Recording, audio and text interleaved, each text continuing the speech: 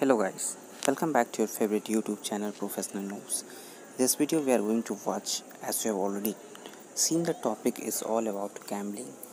Gambling 5x equipments it's not easy but if you will watch the video and you should try at least two to three equipments in a day.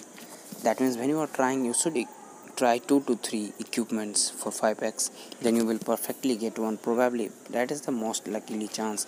However Rayan always almost gets his if you will you are trying to get the 5x uh, equipment then you should also watch out. Not only the what are the blueprints and materials we are uh, giving out but also you need to watch out what are the pattern we are drawing for that 5x equipment. That is also important. So guys share this video to all your friends and also subscribe my channel. And also i will put rebirth set uh, gambling too since uh, last video was greatly appreciated by the audience and they told that they have successfully made some of the rebirth equipments too. So I, I will again post some more tricks about that.